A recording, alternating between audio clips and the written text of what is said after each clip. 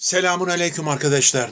Bu sohbetimizin e, konusu hiç şüphesiz Galatasaray. Odağında Galatasaray olacak. Ama içeriğinde arkadaşlar özellikle medya ağırlıklı ve medya içinde kendini bir halt zanneden, özellikle kendini son dönemlerde birilerine çok büyük yazarmış, çizermiş gibi yutturanlar var. Zaten bakıyorsunuz abi yıllardan beri televizyonlarda, gazetelerde, orada, burada hep aynı isimleri görüyorsunuz. Özellikle spor basınının en büyük özelliğidir arkadaşlar. Kendini yenilemiyor olması. Evet yenilemiyor olması. Nerede 3-5 tane tip varsa onlar birbirlerinden kopya çekerek hep böyle giderler. Kahve ağzı muhabbeti, kavga, gürültü, hakaret, yalan, dolan, üçkağıtçılık, onun adamı, bunun adamı, kayırma, kollama. Abi böyle giderler. Yıllardan beri de bu böyle olmuş abi. Şöyle bir geriye doğru gittiğiniz vakit e, saygınlık bundan 20 sene önce, 30 sene önce daha çok varken her geçen gün saygınlık azalmış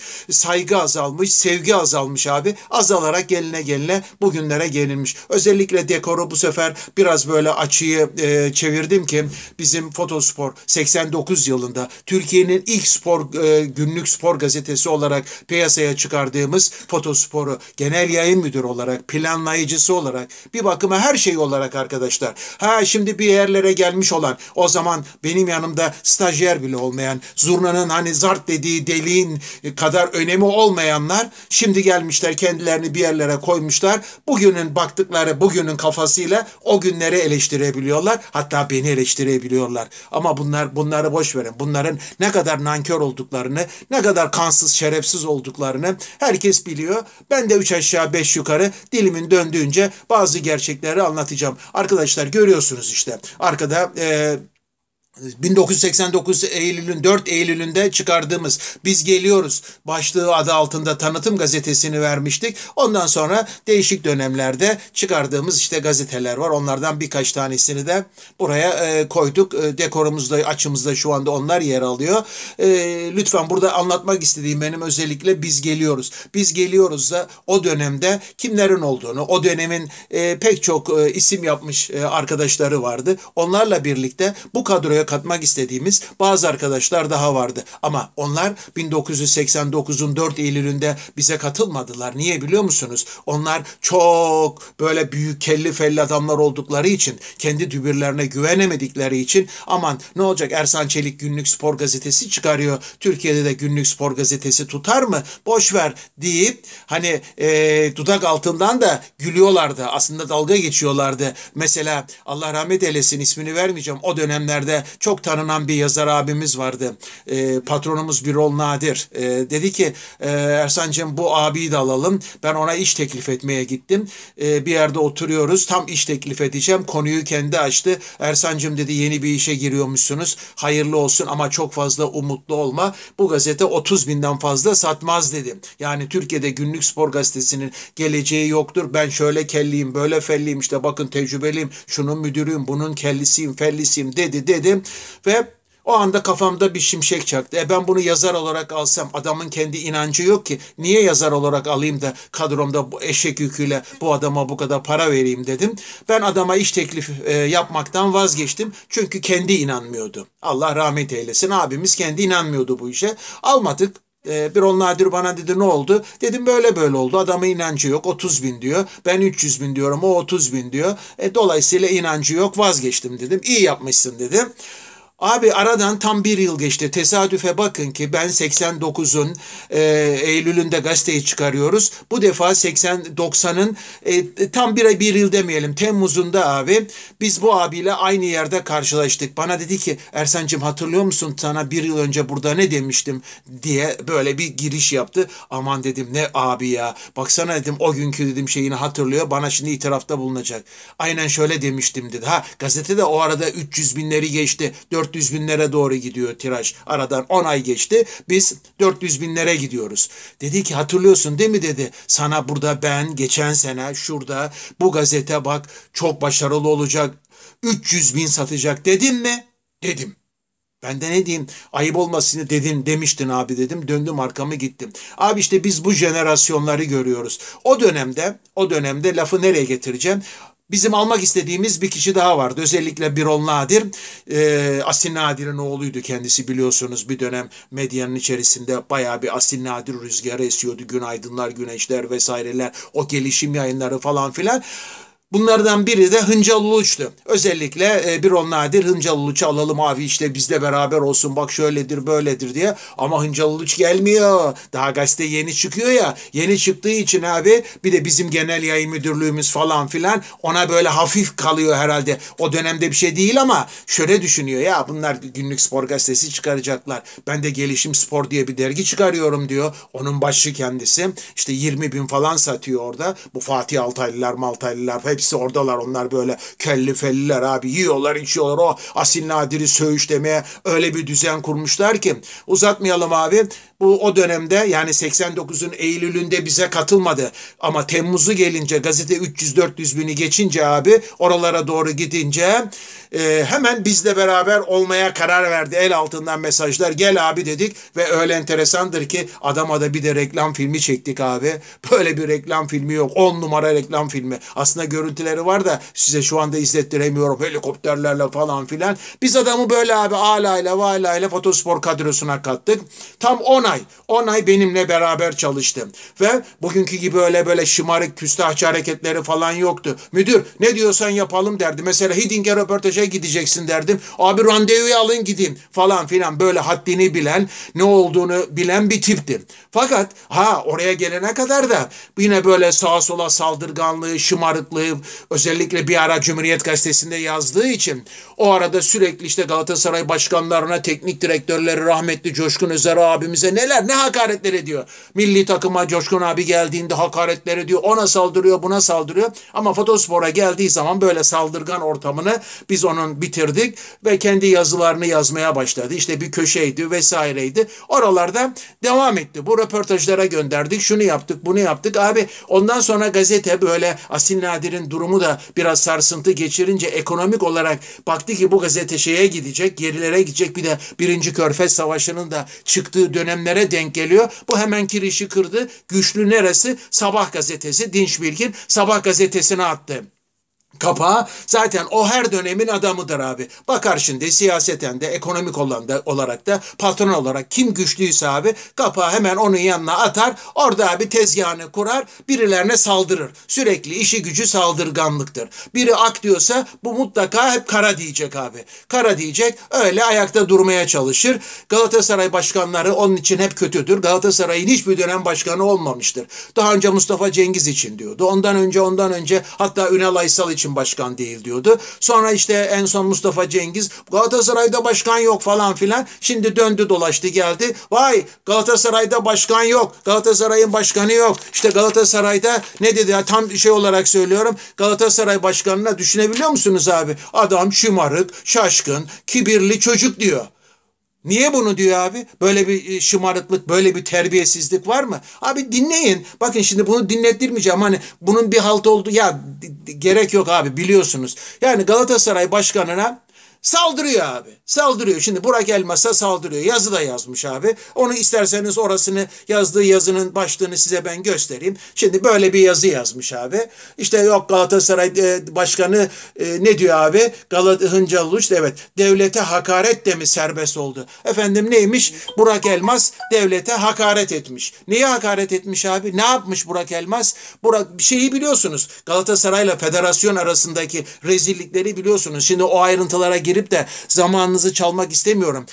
Hep bütün görüntülerini hazırladım da abi zaman e, gitmesin zamanınız diye girmiyorum o toplara. Adam Burak Elmas gayet doğal bir şekilde bir Galatasaray başkanına yakışır şekilde aslında teşekkür edeceği yerde Burak Elmas'a hakaret ediyor. Yok işte şımarıktı, kibirliydi, çocuktu bilmem ne. Ya 50 yaşına merdiven dayanmış adama hakaret ediyor. Çocuk bunu küçümseyerek söylüyor. Anlatabildim mi? Kendi çok şey ya. Ya sen kendin zaten belirli bir sınır aşmışsın değilsin. Artık senin gibilerin buralarda olmaması lazım. Televizyon programlarıydı, oydu, buydu. Hala kendini bir e, tipmiş gibi yutturuyor. Abi bu, bu bunlar var ya bunlara anladığı dilden cevabı vereceksiniz. Çok düşündüm ya Ersan cevap ver Ver verme ne olur yani ama bunların da ipliğini birilerinin pazara çıkarması lazım. Bunun da ipliğini pazara en iyi çıkaracaklardan biri de benim abi. Benim çünkü biliyorum. Adam size söylüyorum. 90 yılında geldi benim kadroma katıldı. 10 ay bizde çalıştı.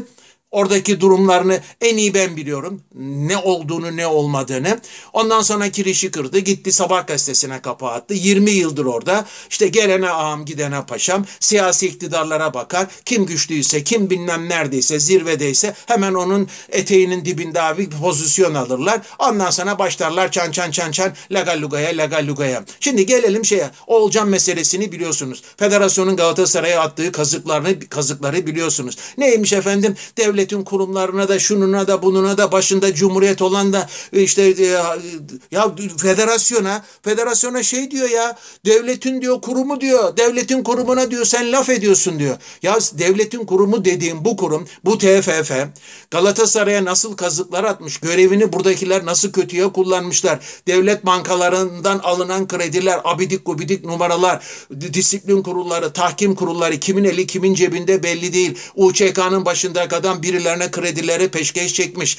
TFF'nin başındaki adam Galatasaray'dan intikam almak için yemin etmiş. Onun yardımcısı yardımcıları başka alemde abi gitmişler Rize Spor diye bir kulübe devletin bütün imkanları seferber edilmiş her türlü rezalet ortada abi bunları görmüyor Galatasaray'a yapılan düşmanlıkları, atılan kazıklar, kazıkları hiçbirini görmüyor. İşte Oğulcan meselesi gencecik bir Türk futbolcusu oynayamıyor, oynatılmıyor. Bununla ilgili tek kelime yok abi. Ondan sonra vay efendim federasyon 8 artı 3 kuralını getirmiş gençleri kazandırmış. Ulan lavuk madem gençler diyorsun Oğulcan 6 maç Avrupa'da oynayamadı kansız. Neden demiyorsun ki Oğulcan'a nasıl lisans vermezsiniz diye? Üstelik lisans vermeme tamamen dalga dümen, tamamen üçkağıtçılık var, tamamen hukuksuzluk var. Ulan kitapsız. Tövbe tövbe estağfurullah ya. Desene kardeşim. Burada haksızlık var. Ey federasyon. Niye? Efendim ben federasyonu eleştiriyordum. Sen kimsin lan? Kimsin? Nesin sen? Burak Elmas'a laf ediyor. Efendim Burak Elmas şımarık çocukmuş, kibirli çocukmuş, yok efendim şaşkın çocukmuş. Galatasaray başkanına bu lafları ediyor. Ben şimdi diyorum Galatasaray e, camiası sana gereken dersi mutlaka verir. He, seni kör kazıklara oturtur inşallah. Ayıptır ya. Bu kadar terbiyesizlik olabilir mi? Ne yapmış Burak Elmas? Gitmiş kulübünün hakkını aramış, dik durmuş. Demiş ki ey federasyon hukuk e, içerisinde hareket et. Tarafsız hareket et. Yapma bu adiliği. Yapma bu şerefsizliği. Sen Galatasaray'a haraç kesiyorsun. Oğulcan, Oğulcan isimli genç kardeşimizi tek taraflı opsiyon kullanarak, hukuksuz bir şekilde opsiyon kullanarak Galatasaray'a haraç kesiyorsun. Bunu yapma, etme demiş. Görevinizi kötüye kullanıyorsunuz demiş. Ve bu görevlilerini kötüye kullananları savcılığa şikayet ediyor. Ve diyor ki onlar da sen bunları bize söyleyemezsin çünkü onlar kral ya.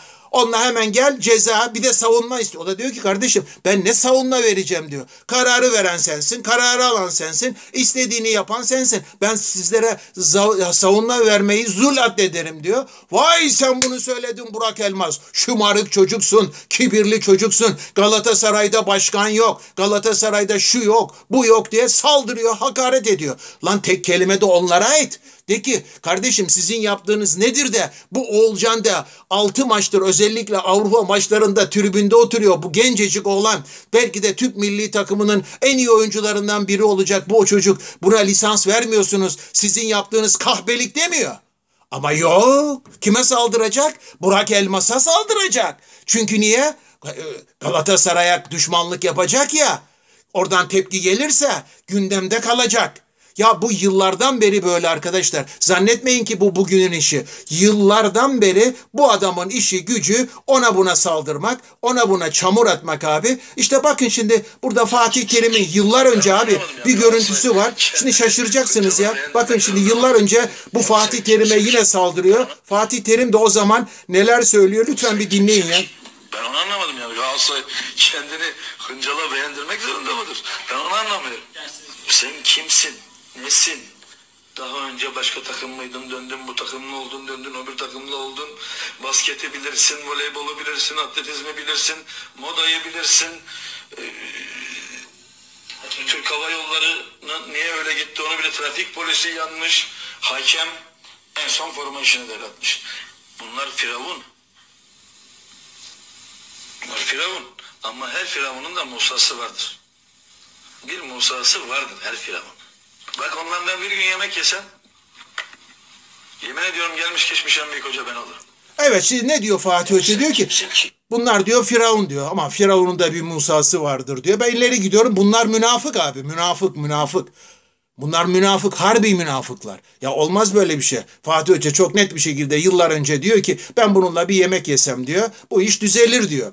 Yıllar önce bunu söylüyor. Bugün değişen bir şey yok. Aynı şey devam ediyor abi. Aynı şey. Ya ne istiyorsun kardeşim? Madem bu kadar adaletsizsin, taraflısın, ha, kelli felli yazarsın. O zaman gerçekleri yaz. Gerçekleri anlat. Senin bugün göklere çıkardığın TFF tabi içinde bulunduğu grubun e, pohpohlayacak ya adamları ya. Senin bugün içinde bulunduğun TFF Türk futbolunun anasını ağlatmış. Tüm zamanların gelmiş geçmiş en beceriksiz, en taraflı, en iş bilmez TFF'si. Arkadaşlar kusura bakmayın ya ter bastı. Vallahi ter bastı ya. Ya adama bu kadar sinirlendim ki abi bu haksızlığa ya. Hani denemişler haksızlık karşısında susan dilsiz şeytandır diye. Susamam abi kusura bakmayın ya. Siz de susmayın abi. Böyle adamlara, böyle adamlara kimse prim vermesin ya. Ya sen ne istiyorsun kardeşim? Galatasaray Başkanı Burak Elmas öyle ya da böyle dik durmuş. Kulübünün hakkını aramış. Yapılan rezilliklere, he, Galatasaray düşmanlıklarına dur diyor adam ya. Yıllardan beri hepimiz şikayet ediyoruz Galatasaray'ın nasıl sahada doğrandığını, nasıl üçkağıtçılıklar yapıldığını. Adam ne diyor biliyor musunuz? Galatasaray diyor Hatay'ı diyor, Ömer e, Hatay Spor'un teknik direktörünün diyor yardımıyla yendi diyor, hakemle yendi diyor. Yani Hüseyin Göçek Hatay maçında Galatasaray'ı tutmuş abi. Ya bu bir kansızlık, bu bir yalancılık, bu bir üçkağıtçılık, bir bu puşluk ya. Ayıp sen televizyon ekranlarını sana verdiler diye, gazete sayfalarını sana verdiler diye bu kadar taraflı, he, yanlı, insanları yanıltacak yorumlar yapma hakkını kendinde nerede buluyorsun? O yok 62-22 savcılar nerede diye. Asıl savcıların bu adam hakkında işlem yapması lazım. Yalandan, dolandan insanları tahrik edip e, böyle e, galeyana getirmekten bu adam hakkında galeyana işlem yapması lazım. Bunun gibi adamlara yorum yaptırmamak lazım. Yazı yazdırmamak lazım. Abi bu adam uçmuş gitmiş ya. Uçmuş gitmiş. Yazık, günah. Hüseyin Göçek Galatasaray'ı tutmuş. Karşısındaki çanakçı sunucu da diyor ki ama diyor Galatasaray'ın penaltısını vermedi diyor. Ya diyor hani indirdiler ya Nelson'u. E, yok diye ya orada diyor penaltı demek ki diyor hakem inanmamış diyor. Hakem inanmış olsaydı verirdi zaten diyor. E peki diyor var da zaten diyor çağırmadığına göre demek ki penaltı değil diyor. Bak bak bak bak. Bak adamın yorumuna bak. Böyle tek taraflı. Ya bu kadar kansızlık olmaz. Harbiden olmaz ya. Bu adamın biz dününü biliyoruz. Ona buna saldırganlıkla, herkesin ak dediğine kara diyerek yıllarca ayakta kalmış. Ona buna yanaşmış. Siyaseten kim güçlüyse onun çöplüğünde hep ötmüş. Onu arkasına almış. Ondan sonra abi gelinmiş bu noktalara. Şimdi Burak Elmas'a saldırıyor. Lan Burak Elmas'a niye saldırıyorsun? Adamın bir yanlışı yok ki. Adam Galatasaray kulübünün tüm camia bugün Burak Elmas'ın arkasında duruyor. Aklı olan, adaletli olan, harbiden gerçek anlamda sporsa bırakın Galatasaraylılığı herkes e, Burak Elmas'a destek verir. Adamın söylediği yanlış bir şey yok. Siz taraflısınız diyor. Bu tahkim kurulunun, disiplin kurulunun, UÇK'nın içinde bulunduğu duruma bir bak. Oğulcan meselesine sadece Oğulcan meselesine bak, gerçeği göreceksin. Bunların ne, ne türlü dolaplar çevirdiklerini anlayacaksın. Bunları savunuyor olmak, bunlarla aynı kaba ediyor olmak gibi bir şey. Aynen. Demek ki bunları destekliyor. Yazıktır, günahtır kardeşim. Bugün Türk futbolu 3 artı 8 artı 3 kuralıyla içinden çıkılamaz bir hale gelmiş. Ersun Yanal'ından Sergen'ine kadar Fatih Hoca hepsi abi bütün kulüpler isyan ediyorlar. Ağlıyorlar abi. Bu destekliyor. Vay efendim Pereira 3 tane genci oynatmış da bu 8 artı 3'ün zaferiymiş de hadi lan oradan ha siktir. Kusura bakmayın böyle dediğim için. Böyle adamlar ya. Ne o 8 artı 3'ün şeyi? Galatasaray bir sürü genç oyuncu aldı. Hepsi 20-20'li yaşlarda. Madem o kadar genç hayranısın niye demiyorsun? Ha? Barış Alper harikalar yarattı. Neden söylemiyorsun? Söylemez. Efendim Galatasaray hakemle kazandı. Galatasaray'a Ömer Erdoğan maç kazandırdı. İşte bu böyle bu puşluktur arkadaşlar. Bu lavukluktur. Bunlar bunlara itibar etmeyin. Tamam biliyorum. Bütün Galatasaraylılar zaten olağanüstü bir tepki gösteriyor. Aklı başında olanlar olağanüstü bir tepki gösteriyor. Burada hepsinin notlarını aldım. Şimdi onları tek tek sizlere getirmeyeceğim ama ne yaptı kardeşim? Burak Elmas şunu mu yaptı?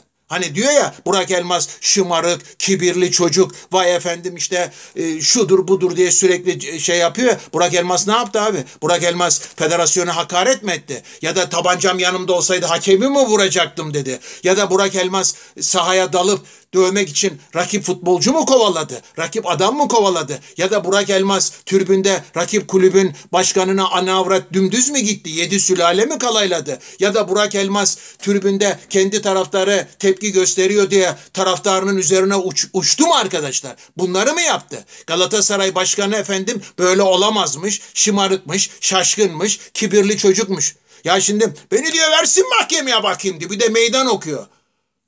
Burak Elmas bunu değil mahkemeye var ya bunu var ya bana hani derler ya yedi zindana kadar git kovala ya. Kovala kardeşim bulmuş meydanı ama şöyle diyor. Ulan diyor Türkiye'de diyor nasıl olsa diyor mahkemeler diyor ne zaman karar verecekler diyor. Mahkemeler karar verene kadar ben zaten miadımı doldurdum diyor herhalde. Öyle düşünüyor herhalde.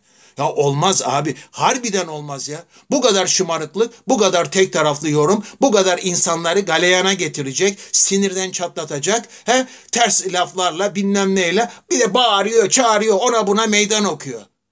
Lan senin dününü biliyoruz. Kim olduğunu biliyoruz. Ne olduğunu biliyoruz. Bugüne kadar ne verdin? Türk medyasına ne verdin? Türk spor medyasına ne verdin? İşte Fatih Terim söylüyor. Yıllar önce diyor ki ben bundan şimdi bir yemek yesem diyor iş biter diyor. Demek ki senin bütün değerin şunun bunun bir yemeklik kadar. Bir yemeklik kadar. Ötesi yok. Ötesi yok. Yani arkadaşım bu bir yere kadar bunları söylersin söylersin de ama gerçekleri de görürsün. Yapma ya. Yapma bu kadar rezillik olabilir mi? Böyle tek taraflı düşüncelerle nereye varacağız?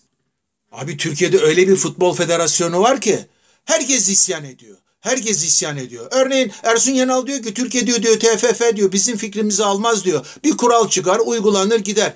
Günü geçirmek için siyasi işlerle bir şeyler çözemeyiz. Bunu yönetemeyen kurumlar batmaya mahkumdur diyor.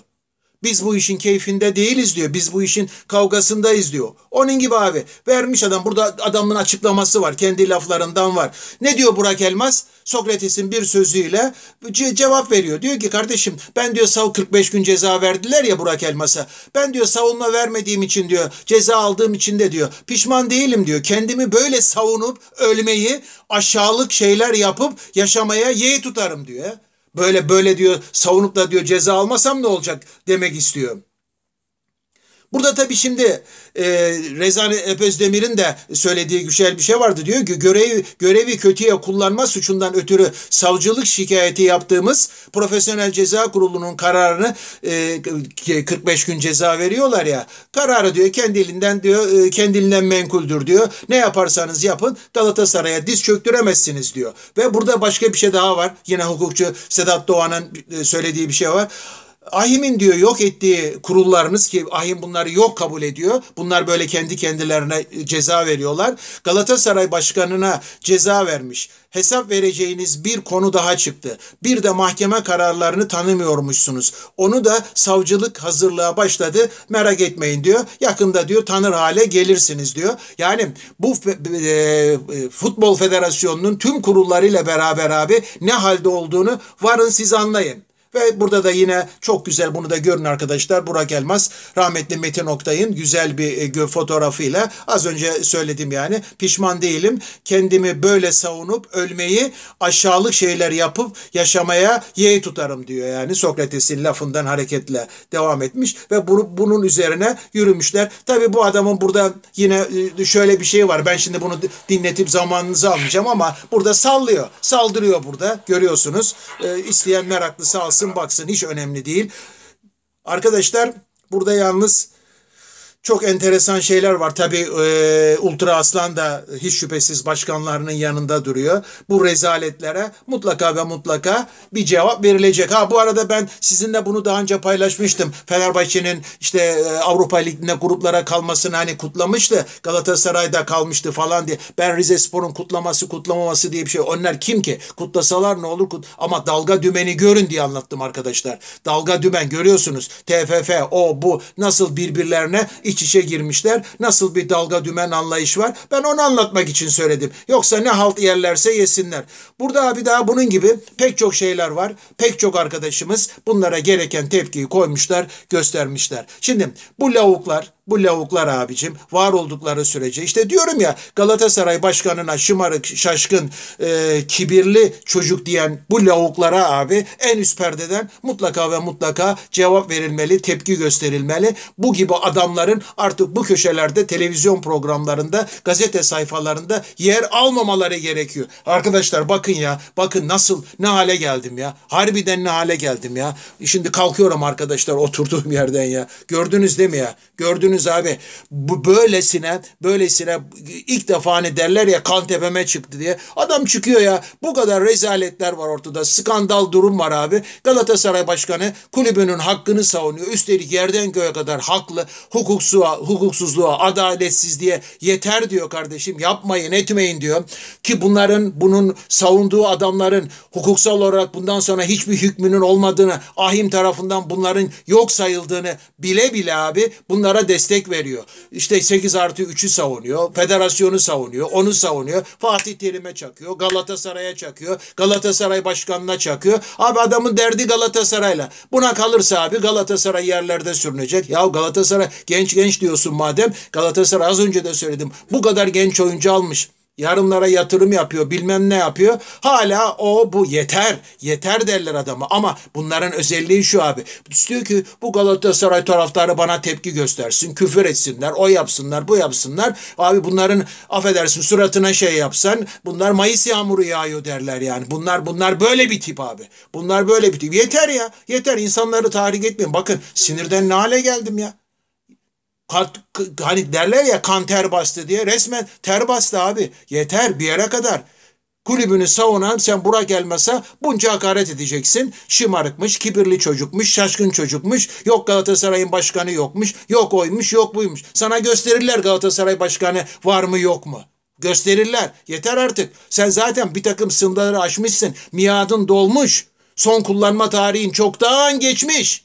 Geçmiş kardeşim bitmiş. Sen yıllardan beri aynı taktikle ona buna saldır, ona buna vur. Galatasaray'ın başkanı yok, Galatasaray'ın yönetimi yok. Yok şöyle oldu, yok böyle oldu. Şu bitmiş, beceriksiz, çaresiz tüm zamanların en berbat federasyonunu savunmak zaten bir utanç vesilesidir abi. Yeter sana da bu utanç yeter. Arkadaşlar burada noktayı kesiyorum. Vallahi iyice sırılsıklam oldum. Anladınız ne dediğimi değil mi? Ha bana şunu deme. Abi sakin ol. Ya sakinim aslında. Sakinim de niye biliyor musunuz? Abi bunlar gibilere meydanı boş bırakmamak lazım. Ben zaten zamanında benim gazetemde de orada da burada da hiçbir zaman genel yayın müdürlüğüm döneminde bu tiplere fazla prim vermedim. Bu benim dönemimde böyle değildi. Haddini biliyordu. Orada oturuyordu kuzu kuzu. Böyle şımarık mımarık değildi. Şimdi bunun genel yayın müdürü yok, başında o yok, bu yok. Herkese gider yapıyor, bilmem ne yapıyor. Abi saygı duyacaksan önce adam olacaksın. Önce adam olacaksın. Gerçekleri göreceksin. Hukuksuzluğun, adaletsizliğin yanında yer almayacaksın. Senin savunduğun federasyon, tahkim kurulu, UÇK, ceza kurulu, disiplin, onlar bunlar bugün iç içe girmişler. Ne hukuk tanıyorlar. Vay efendim devletin bilmem ne kurumlarına karşı saygısızlık varmış. Önce onlara sor. Önce hak haksızlığı, saygısızlığı, rezilliği, kanunu, hukuku, adaleti onlar tanımıyorlar. Tanımayanların yanında yer alıyorsun ha? Yazıklar olsun be. Yazıklar olsun. Ondan sana yok ben şunu yaptım, yok beni bu. Ne yaptın lan? Ne yaptın? Bugüne kadar varmış da ben söylüyorum. Ersan Çelik bak kalıcı. Türkiye'de ilk defa günlük spor gazetesini çıkardım. Günlük spor gazetesini çıkardım. Şimdi iki tane daha var. Devam ediyor. Türkiye'ye günlük spor gazeteciliği anlayışını getirdim. İlk defa Markus Merk'i ben getirdim Türkiye'ye. Sonra birileri aldı. Üç yıl kullandılar. Benim eserimdir. İsterseniz anlatırım. Yok abi yok böyle bir şey yok. Kimse kalıcı bir şey bırakmadı. Ama ben bıraktım. Bak burada belgeleri var. Bıraktım. Bırakmaya da devam edeceğim inşallah yakında. Bırakmaya da devam edeceğiz. Çok daha güzel şeyler yapacağız. Allah'ın izniyle, sizlerin desteğiyle. Ama Allah böyle münafıklardan bizleri korusun. Bakın bir münafık laf etti diye şurada 30 dakikalık sohbeti kanter içinde kalarak yaptık. Bunlara yazıklar olsun ya. Bunlara yazıklar olsun. Abi bunlara prim mirim vermeyin. Lütfen bu sohbeti var ya herkese duyuralım, herkese yayalım abi. Ne yapmış Galatasaray Kulübü Başkanı? Kulübünün hakkını almış. Hukuksuzluğa, adaletsizliğe tepki koymuş, dik durmuş. Helal olsun sapına kadar. 45 gün değil 145 gün 545 gün verseler ne yazar? Kim lan bunlar? Kim? Tüm zamanların en berbat, en yalaka, en beceriksiz federasyonu. Bunların arkasında duranlara da yazıklar olsun. Bunlara destek verenlere de yazıklar olsun. Abi abone olmayı, beğenmeyi unutmayalım arkadaşlar. Unutmayalım, mutlaka paylaşalım. Ne demek ya? Kibirli, şaşkın çocuk, kendini bir şey zanneden, şaşkın, devlete kafa tutuyor, bilmem ne diyor ya. Böyle bir şey yok abi. Böyle bir şey yok. Harbiden böyle bir şey yok. Noktayı koyuyorum. Hepinize en içten sevgiler, selamlar. Yeni sohbetlerde buluşmak üzere. İnşallah abi böyle terli terli yapmayacağız bir daha abi. Terli terli yapmayacağız. Kan tepemize inşallah çıkmadan yapacağız. Görüşmek üzere. Hoşçakalın kardeşlerim.